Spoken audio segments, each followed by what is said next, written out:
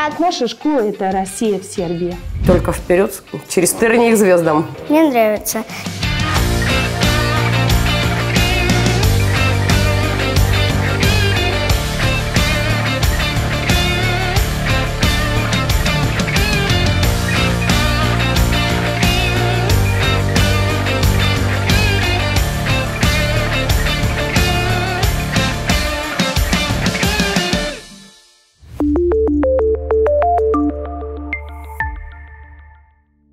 Глобализация не стоит на месте и открывает все новые и новые пути развития. И Обрсоюз, конечно же, не отстает. Мы продолжаем серию образовательных экспедиций и выходим за пределы нашей страны, чтобы узнать, как за рубежом отвечают на образовательные вызовы и какие перспективы есть у наших граждан и их детей в сфере образования и профессиональной деятельности в дружественных странах. Экспедиции СОТ в Сербии. Здесь очень любят и уважают русскую культуру и русский язык. Кроме того, здесь поселилось много наших соотечественников. Ну что же, отправляемся в наше увлекательное путешествие, чтобы рассказать об активных учителях, любознательных учениках и интересных образовательных проектах. Добро пожаловать на виртуальный тур по русскоязычному образованию в прекрасной республике Сербия. Сербия – государство в юго-восточной Европе в центральной части Балканского полуострова. Это страна с долгой и сложной историей. Она моментально влюбляет в себя туристов своей живописной природой, богатой культурой, но особенно добрыми и гостеприимными гражданами. Нам невероятно повезло, ведь каждый, к кому мы обращались с вопросами, а интересовало нас многое, с удовольствием подробно отвечал и помогал нам. Но давайте по порядку. И начать, конечно, нужно со столицы. А столицей Республики Сербия является славный город Белград. Когда в третьем веке нашей эры сюда пришли кельты, здесь уже было укрепленное поселение. 40 раз этот город пытались взять приступом. Здесь проходили границы мировых империй и проливалась кровь. Мы на слиянии двух европейских рек Саввы и Дуная. Мы в Белграде. Белград – это столица Сербии и ее крупнейший город. А еще это один из древнейших городов Европы. Здесь прекрасно уживается множество национальностей, каждая со своей культурой, своими традициями и своим вероисповеданием. Величественный, древний, гостеприимный и современный. Все это о нем, о Белграде. Многие жители Сербии знают и изучают русский язык в качестве иностранного, а изучение иностранного языка с самого детства полезно для всех для военных и писателей, для переводчиков и даже для блогеров. И сегодня с нами своими взглядами в сфере образования поделился Дмитрий Пучков. Детям 80-х и 90-х он больше известен как российский голос многих иностранных фильмов, или по-простому «Гоблин». Где-то в прошлом нарушен временной континуум, и тем самым создан альтернативный 2015. Там, куда мы направляемся, дороги не нужны.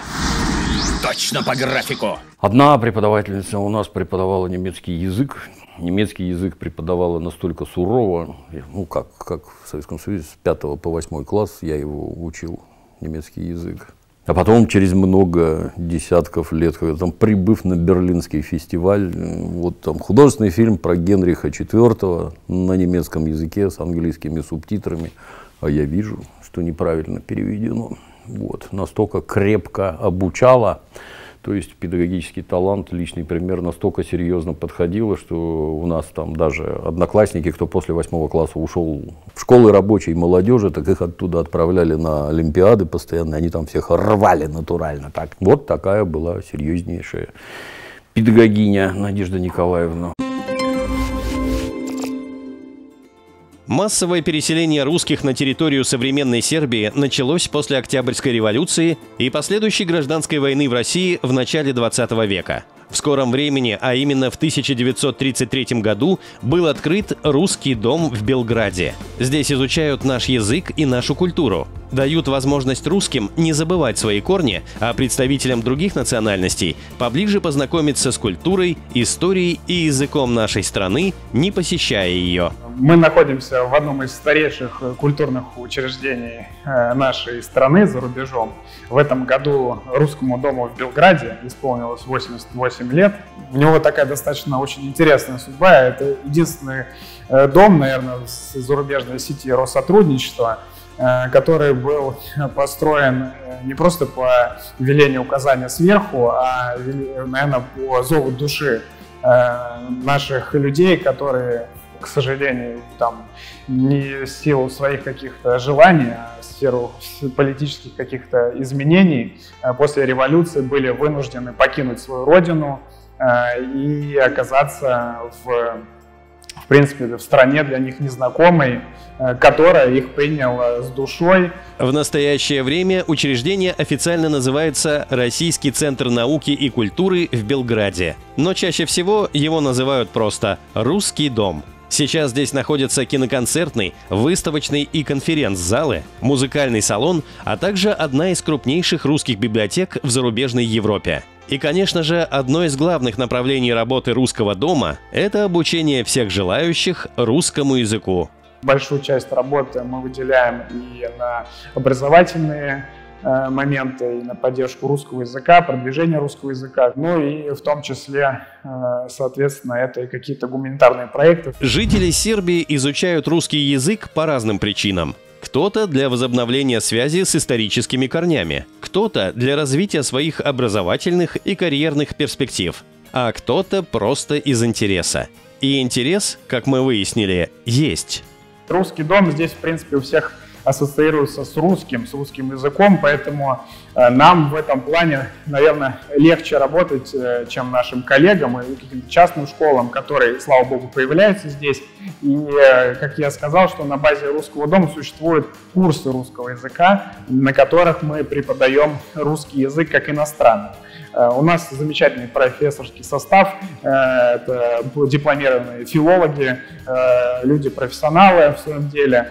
И у нас есть несколько групп, э, начиная от совсем маленьких детишек, от 5 лет, э, и заканчивая совсем взрослыми слушателями курсов. Но не только язык изучают в русском доме. Здесь также проводится множество мероприятий, посвященных русской истории, русской культуре и русским традиционным праздникам. День славянской письменности и культуры, День народного единства, русская Пасха и Масленица.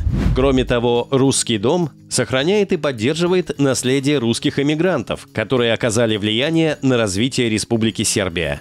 Александр Медведев – один из самых знаменитых архитекторов на Балканах, внесший большой вклад в современную архитектуру города Ниш, третьего по величине города в Сербии. И нам посчастливилось посетить ретроспективную выставку «Проекты и архитектура Александра Медведева», которая проходила в галерее Русского дома, и пообщаться с ее организатором, сыном Александра Медведева Михаилом Александровичем. Он рассказал нам о жизненном и профессиональном пути своих родителей, русских иммигрантов в Сербии. Так как у них не было денег, они держали, значит, э, эти самые курсы французского, русского. А моя мама читала поэзию украин, на украинских этих поэты и русских богатым людям и так дальше. И, кроме того, мама, значит, продавала билеты на одном студенческом балу. А этот бал организи организовал мой отец. Значит, он был председатель. И она, значит, он хотел посмотреть, что случается. Она говорит, купи билет. А говорит, это председатель наш, какой билет и так дальше. Ма билет, билет. Так они познакомились, значит, и э, э, продолжили вместе, значит, эти самые этюды. Самое большое здание, которое он проектировал и которое выстроено, оно в нише. Ему Драгиша Цветкович, тогда, значит, городоначальник Ниша, значит, э, дал задание сделать э, э, дом для ремесленных учеников. И, значит, мой отец это и спроектировал, это кончил проект в 1939 году, когда передал проекты, когда они видели какое-то оригинальное значит, здание, сказали, передела его не ремесленники, пусть будет это управа города. И мой отец переделал в 1939 году, начала строиться это, и э, закончена стройка в 1945 году после этого. Так что это самое, э, самое большое и самое интересное здание в нише, и оно в стиле модерн. Мероприятия русского дома могут быть интересны не только любителям культуры, истории и образования. Например, Центр активно работал во время чемпионата мира по футболу, который проходил в России в 2018 году. Буквально в соседнем зале мы организовали э, такой клуб болельщиков, где мы выдавали паспорта болельщиков, сербские болельщики, которые ездили в Россию, они получали в Русском доме эти паспорта и упрощались, соответственно, визовые какие-то обязательства. Стоял огромный экран, здесь на постоянной основе проходили прямые трансляции матчей с Россией, Сербией, Э, и э, участвовал руководство Сербии, министры, приходили послы иностранных государств, команд, которые участвовали в чемпионате мира по футболу в России. И здесь, ну, прям э, такая царила атмосфера. Кто не смог поехать в Россию, то есть, в принципе, они почувствовали себя здесь как в России, напитались, наверное, таким духом соревновательной, дружбы. Очень прекрасный проект был. И, конечно же, главный показатель работы любого учебного заведения – это успех его учеников. Интерес большой интерес большой, он, э, слава богу, растет. Не могу не отметить, что президент э, Сербии еще, э, когда не был президентом, он начинал свою политическую карьеру, он был слушателем курсов русского языка русского дома. Поэтому, когда коллеги задают вопрос, как нам рекламировать курсы русского языка в русском доме, я вот предложил ему такой слоган «Хочешь стать президентом? Учи русский язык в русском доме». Есть много улиц, которые названы в честь русских писателей. Одна из улиц э, называется Достоевский. Вот на этой улице есть культурный центр э, общины Чукарица муниципалитета, и мы на этом культурном учреждении сделали огромный портрет Достоевского. Вот вы должны тут готовить учителей батальонами и засылать их во все стороны, сеять разумное, доброе, вечное, чтобы все с нами дружили. Это же именно про дружбу в первую очередь. Это именно про хорошее отношение к России. Надо, конечно, соответствовать тому, чтобы к тебе относились хорошо. Но если человек например, знает иностранный язык как следует, то это ты уже погружен в две культуры. Практически все дети в Сербии в начальной школе изучают английский язык, а русский преподается как второй иностранный по выбору. Есть также несколько школ с обязательным изучением русского языка. Но мы нашли учебное заведение, в котором обучение проходит полностью на нашем родном языке. И это первая международная русская школа имени Валентины Терешковой в Белграде. Идея открытия русской школы в Белграде витала в воздухе, наверное, может быть, даже, боюсь ошибиться, не одно десятилетие. А в Сербии любовь и интерес к русскому языку никогда не спадал. И до сегодняшнего времени это обусловлено разными причинами, историческими, и то, что наши языки похожи, то, что мы братские народы. Поэтому о русской школе часто спрашивали, и в основном и сербы, и многим э, русским, и гражданам, и гражданам бывших советских республик тоже это было необходимо. И эту идею реализовали, как ни странно, именно сербы. У нас многие родители не знают русского языка, но вот с таким доверием, что они доверили нам своих детей, значит, они верят и в будущее России, и в нашу дружбу наших стран. Дети тут учатся разные. Есть русские ребята, которые вместе с родителями переехали в Сербию. Школа помогает им адаптироваться в новой среде, находить новых друзей и продолжать комфортное обучение. Есть и сербские дети, для которых русская школа и обучение на русском языке – прекрасная возможность для дальнейшего развития, продолжения образования за пределами своей страны и возможной смены места жительства. Очень люблю это место и люблю каждого ребенка. Мы начинали, у нас в первом классе было 7 детей.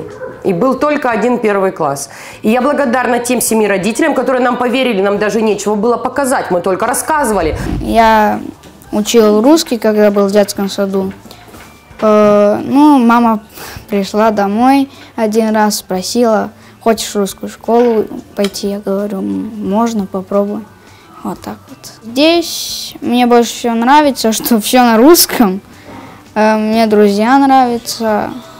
Ну и преподаватели тоже. У нас критерий – это профессионализм и любовь к своей профессии. Любовь. Надо любить. Невозможно отбывать здесь срок, потому что с детьми общаться это нужно много энергии, много креатива. Он просто должен быть, его невозможно выдавить из себя, невозможно выдумать, невозможно сыграть. Поэтому я очень уважаю своих коллег. Они тоже все разных национальностей, но всех нас объединяет, во-первых, конечно, русский язык, э, общее детство, наверное, какое-то в Советском Союзе и любовь любовь к своей работе. Мы перерабатываем сложную теорию русского языка в увлекательную практику. И это работает и дает результаты. Для нас это вот каждый предмет – это открытое пространство для изучения русского языка. Так, например, на уроках окружающего мира мы погружаемся в историю России, путешествуем по Золотому кольцу России, заглядываем в Третьяковскую галерею, бываем, гуляем по Эрмитажу. А на уроках трудового обучения мы рассматриваем русский национальный костюм, говорим про традиции, истории русского народа, готовим блюда русской кухни. Некоторые дети начинают изучать русский язык с самого нуля. Но к концу каждого учебного года все дети получают прочные знания по всем предметам в соответствии с программой «Школа России». Кстати, один из учебников, которым активно пользуются преподаватели русского языка во всем мире, называется «Привет, Россия». В нем через культурологическую составляющую и коммуникационную методику легко вовлечь учеников в занятия. Учебник был создан известным авторским коллективом и поддержан Обрсоюзом. Любой преподаватель может ознакомиться с его электронной и печатной версией на сайте для преподавателей русского как иностранного rus.study где также можно найти много бесплатных методических материалов. И знаете, вот э, увлеченный, талантливый педагог, учитель видит возможности для изучения русского языка во всем. А у нас в школе именно такие люди и работают, профессионалы своего дела. Э, в нашей школе дети уважительно относятся к России, к русскому языку. Э, интерес к изучению русского языка в Сербии с каждым годом растет. А наша школа – это Россия в Сербии.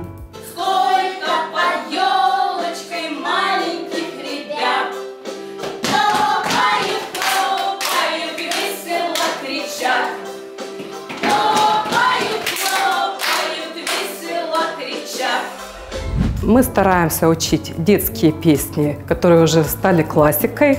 Это и советского периода, и какие-то современные, добрые детские песни. Ну и, и, конечно, школьная тематика, чтобы была. Ну, мы и слушаем музыку, и занимаемся э, нотной грамотой, сольфеджио, да. Дети в основном музыкальные у нас подбираются. Ну, работаем. Им, главное, чтобы им нравилось. Мне нравится. Физкультура нам нравится, потому что там мы всегда играем в какие-то игры, нам интересно. На русском языке писать мне тоже нравится, я очень красиво пишу. Я учусь в пятом классе, я здесь 4 года. Я пришла со второго класса. Я жила в Австралии, в Китае, в России родилась, теперь здесь живу. Мой любимый предмет это география и география русский.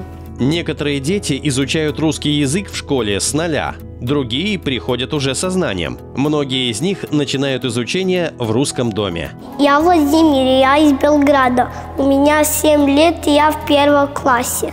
Я 6 лет начал учить русский язык в русском доме.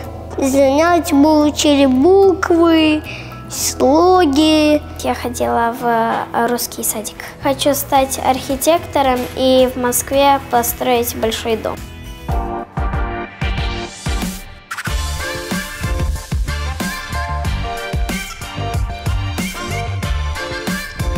Символично то, что открытие школы было приурочено к юбилею Валентины Терешковой, чьим именем названа школа. Первая женщина-космонавт, как все знают, а школа тоже женского рода. И мы тоже хотели быть первые вот в этом космосе, вот в этом пространстве. Поэтому мы решили взять имя первой женщины-космонавта. Тем более, что, например, я ее землячка. Я с Ярославской земли. Я надеюсь, что у нас все дороги открыты. Нам главное держать свою планку, не забывать о своих начальных целях, никуда не отходить ни влево, ни вправо, а идти только вперед, через тернии к звездам.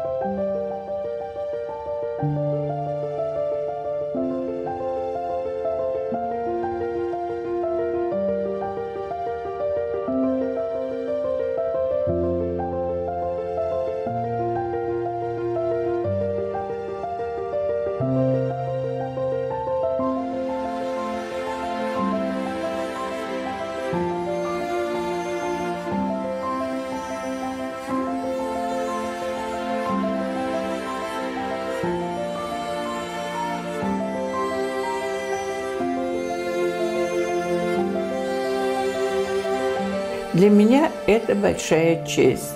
И я буду ну, стараться достойной, что моим именем названа школа.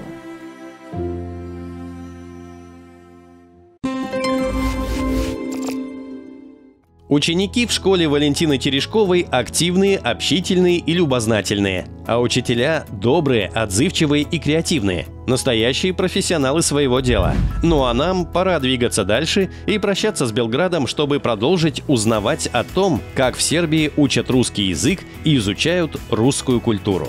А мы находимся в культурной столице Европы 2022 года. А еще это сербские Афины. Мы в Новисаде.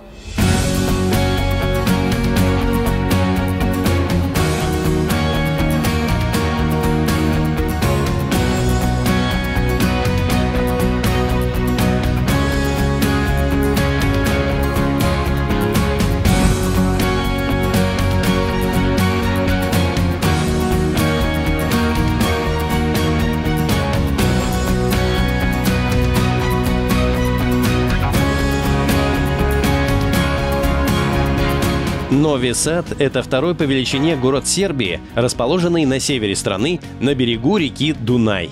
Его основали православные сербы в 1694 году, и уже в 18-19 веках он стал культурной столицей и важным торговым и производственным центром, за что и получил прозвище «Сербские Афины». Название же его в переводе с сербского означает «новая плантация».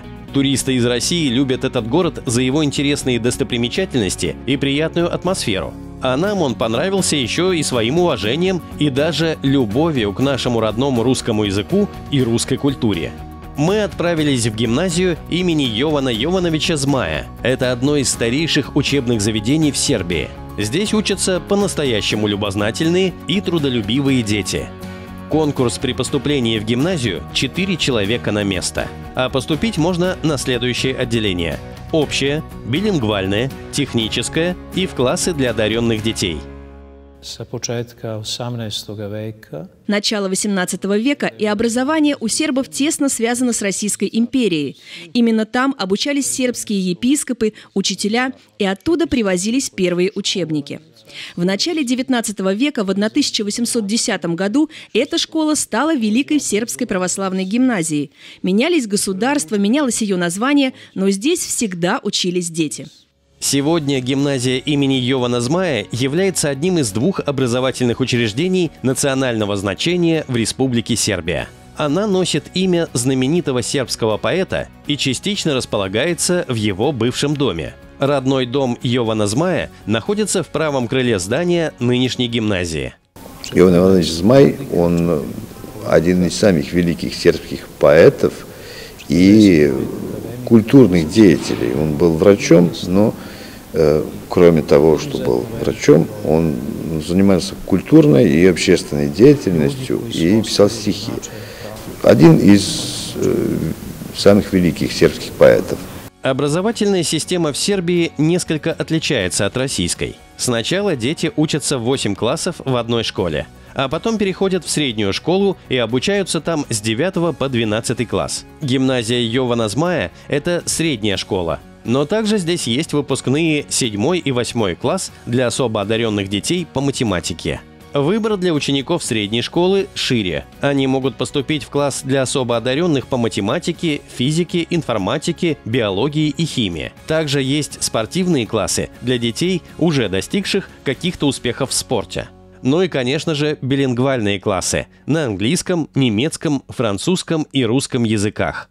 Это отличная возможность и русскоговорящим, и сербскоговорящим детям освоить язык, знакомиться с ним, практиковаться. Классы все-таки мультинациональные. Программа в билингвальных классах по содержанию не отличается от программы на сербском языке. Разница в том, что такие предметы, как математика, химия, физика, биология, информатика преподаются на русском языке, а гуманитарные – на сербском. У нас большинство уроков на сербском языке, но есть уроки, которые прям полностью на русском, и всякие термины там в той же математике, химии, биологии мы изучаем на русском языке.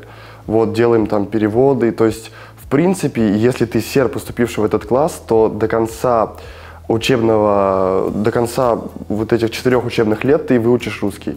Ну, не, я бы не сказал, что в совершенстве, но выучишь. С другой стороны, для русского то же самое. То есть, если ты поступил сюда, то ты 100% выучишь сербский язык, потому что у тебя постоянная коммуникация с учителями, с одноклассниками там. Уроки проходят хорошо, учителя хорошо к тебе относятся и помогают тебе, даже вот если ты только русский приехал. То есть, я рекомендую.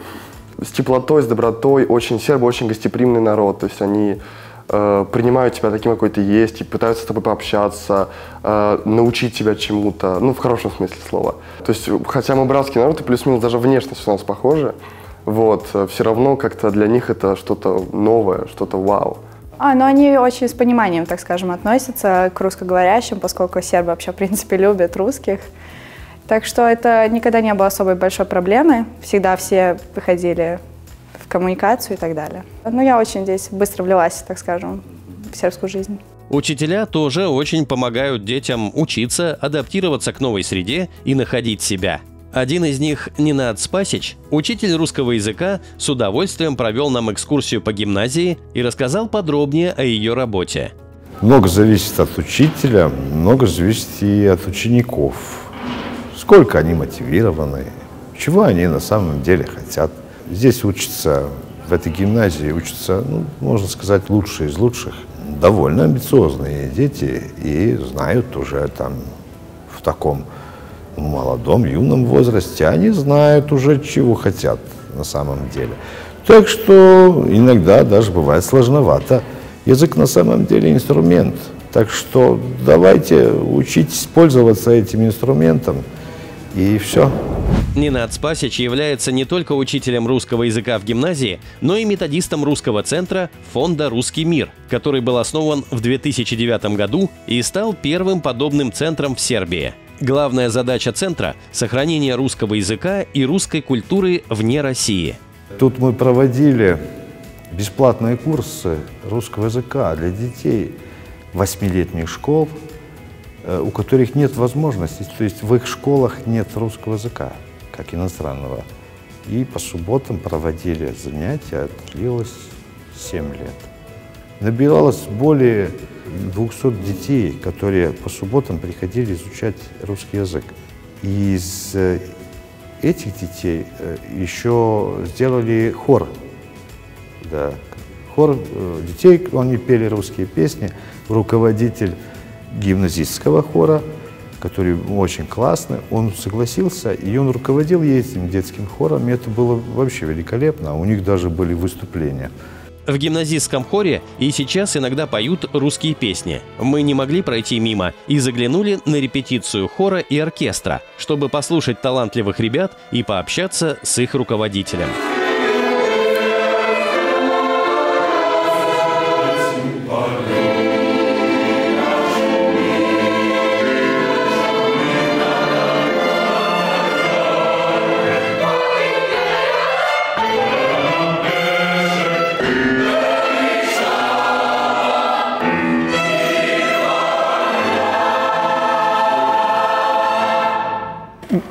Ovdje u gimnaziji imamo sreću da radimo sa.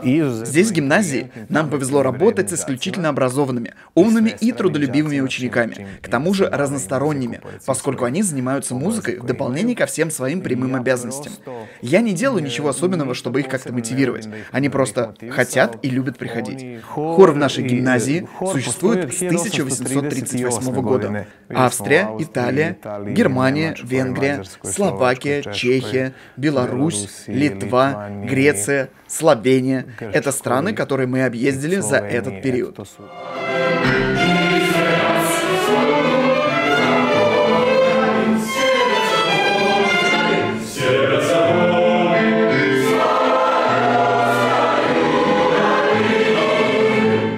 Хоре есть и русские, и я очень рад, что они у нас есть. Они помогают нам, подсказывают правильное произношение в песнях. Мы иногда над ними подшучиваем, они над нами. Мы очень любим их компанию и рады, когда они присоединяются. Как здорово, когда не только школьные учителя, учителя общеобразовательных предметов, но и преподаватели кружков и внеклассных занятий играют важную роль в воспитании подрастающего поколения и становятся ориентиром для детей. У нас, например, в школе был там дирижер, я в музыкальной школе учился, был там дирижер оркестра, был мужчина суровый, воевавший.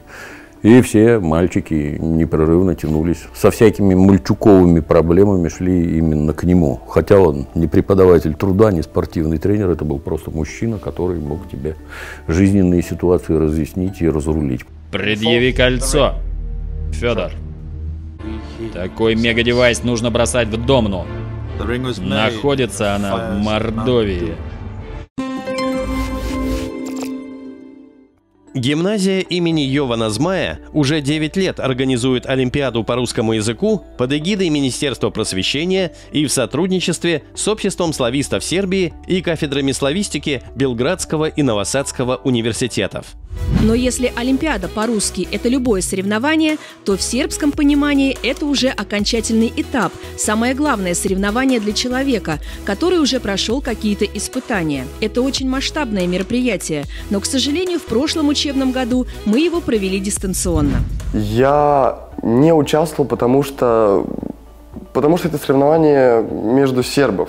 И как-то нечестно будет, если я буду участвовать. У нас также с учителем русского существует такая группа волонтеров, которые мы постоянно на всяких этих мероприятиях, раньше, по крайней мере, участвовали в этих волонтированиях, помогали и так далее. Также я была участницей Олимпиады по русскому языку НИСовской. Вот, я получила второе место. Русский театр есть в Сербии. Вот, но он такой, я бы сказал, детский. То есть там дети участвуют, и они иногда приезжают в русский центр. Все мероприятия, которые мы проводили в русском центре, они были открыты, открыты, открыты для всех граждан, желающих посещать это. Значит, любая лекция, любой концерт. Даже э, стали организовывать э, вечера общения на сербском языке для русскоговорящих. И помочь им как-то ну, освоиться в этой новой среде. Гимназия имени Йована Змая – отличный пример дружбы и сотрудничества между сербами и русскими. Сербские дети могут здесь познакомиться с русской культурой, лучше изучить русский язык, а русские – освоиться в новой среде и найти друзей. И, конечно же, самое приятное в образовательной экспедиции – это встречать таких отзывчивых, добрых и мудрых учителей, как те, кого мы встретили в Сербии. Ведь с ними детям всегда легче и интереснее учиться. Тут вопрос, на мой взгляд, больше не в способности, неспособности, а в наличии и интереса. Если педагог может тебя заинтересовать, или заставить тебя заинтересоваться. Вот тогда, да, тогда получается. А если не интересно, то в одно ухо влетело, в другое вылетело. Вот хорошие учителя все, которые у меня в жизни были, это были безусловнейшие авторитеты, с которыми там какие-то дискуссии, исключение, дискуссия не на равных, а типа умные и знающие, а ты ученик. Так, да. Это потому что учителя такие. Это человек, в котором серьезный стержень, который является собой пример для подражания. Таким надо стать. Одних знаний, что вот ты сильно умный и хочешь это передать, этого недостаточно. Надо быть личностью личностью знающей. Тогда дети подтянутся. Изучение русского языка в Сербии довольно распространенное явление. Интерес есть, и с каждым годом он становится все больше и больше. И надеемся, что интерес к изучению русского языка будет сопровождаться какими-то экономическими интересами, потому что читать Пушкина в оригинале это всегда хорошо, а, но хотелось бы, чтобы молодежь приходила в русский дом, изучала русский язык и видела свою дальнейшую профессиональную деятельность а, уже в, связи с Россией. То есть есть хорошие примеры, ребята, которые заканчивали курсы русского языка, уезжали в Россию, а, поступали на работу в российские, в российские компании и уже связывали свою судьбу с Россией, поэтому вот у нас, в принципе, такая задача, наверное, общая, большая, чтобы через э, какие-то проекты э, русский язык изучался больше и, наверное, становился, становился интереснее. Ну что ж, пришло время прощаться с Сербией, но мы уезжаем с теплотой в душе. Ведь мы знаем, что в Сербии нас всегда встретят настоящие друзья, которые любят и уважают нашу страну, которые с большим интересом и удовольствием изучают нашу культуру и наш язык.